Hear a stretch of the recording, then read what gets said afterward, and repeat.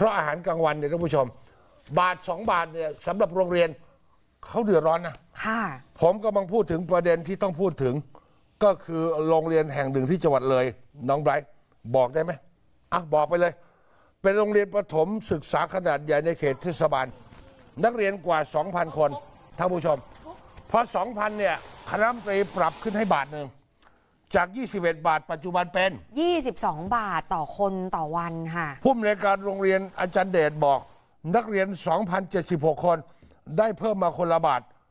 โดยสรุปโรงเรียนนักเรียน 2,076 คน ได้เงินเพิ่มมา 2,000 เพิ่มจากคนละ 21 เป็น 22 และที่เป็นโรงเรียนประถมขนาดใหญ่ เพิ่มมาขนาดนี้เนี่ยโรงเรียนเล็กๆ ได้เพิ่มจาก 21 เป็น 36 บาท น้องไบร ท์ค่ะที่โรงเรียนไม่เกิน 40 คนน่ะค่ะอยากฝากว่า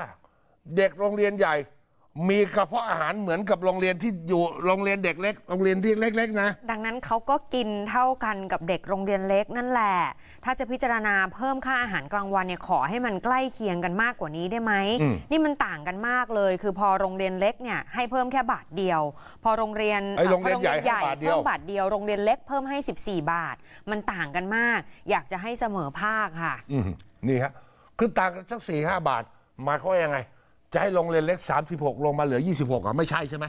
คงจะหมายถึง 22 ให้มันปรับขึ้นไปใช่ไหมค่ะนั่น นี่ผมยังไม่อยากจะเอาภาพที่เราเห็นกันชินตา อาหารกลางวันเด็กเล็กถึงประถม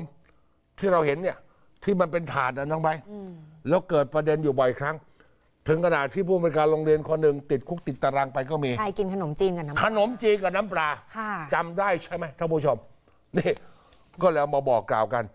โรงเรียนเล็กนี่ขอบคุณรัฐบาลที่เพิ่มให้